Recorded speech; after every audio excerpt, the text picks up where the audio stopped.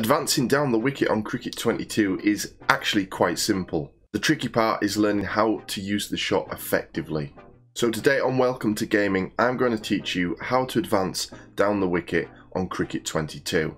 Now to do this, as I say, it's fairly simple. There's no complex input to do the shots. You literally click in the R3 stick. Once this is done, you'll notice your batter's stance change slightly where they'll lift the back of the bat up more. This means they are ready to advance down the wicket. So that's the simple part. The tricky part is to know exactly what situations are best to use this shot in.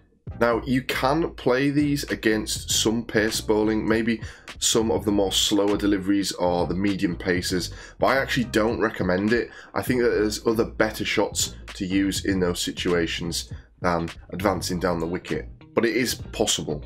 Personally, I really only use advanced down the wicket shots against spin bowlers.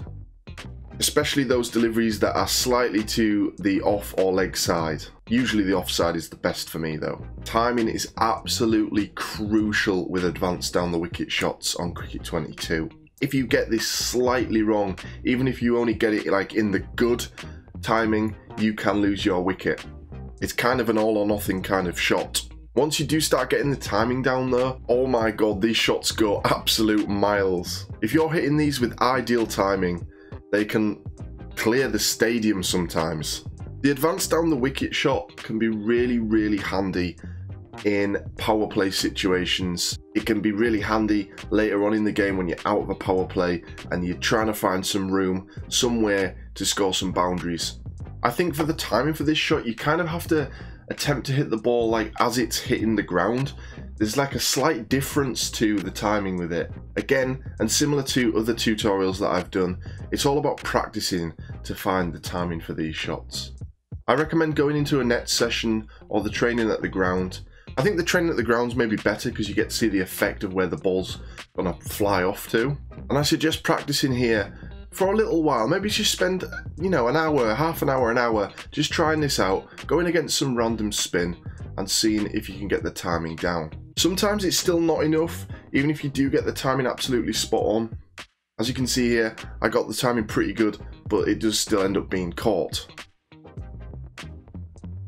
So it's just again about knowing when to play these shots.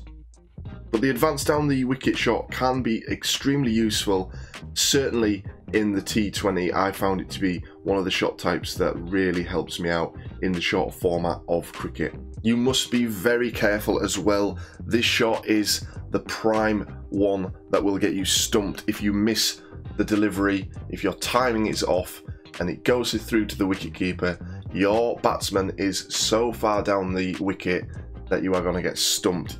If this happens, quickly start hammering the circle button to try and get him to go back into his crease as quickly as possible. It has saved me a couple of times, but very, very rarely. So yeah, you must get your timing right, otherwise you're going to get caught or you're going to get stumped. So, have I helped you out today with this Cricket 22 tips and tricks video? If I have, please do leave a like why not subscribe and maybe come and watch some more Cricket 22 content here on Welcome to Gaming. And I'll see you in the next video.